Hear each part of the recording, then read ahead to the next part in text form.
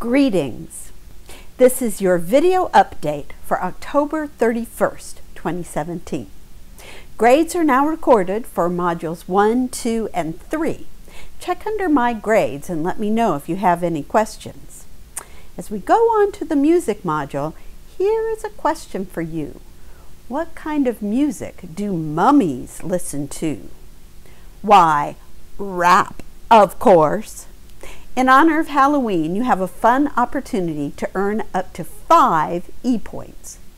Find a video clip of your favorite spooky music and follow the directions to post the link on our Spooktacular Music Google Doc. Then I will send you an email to let you know how many e-points you have earned. Here's the catch. You have to be the first person to post the song in order to get the e-points.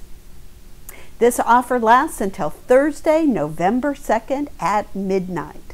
So happy haunting! This is Professor Kim Morin signing off saying, creep it real.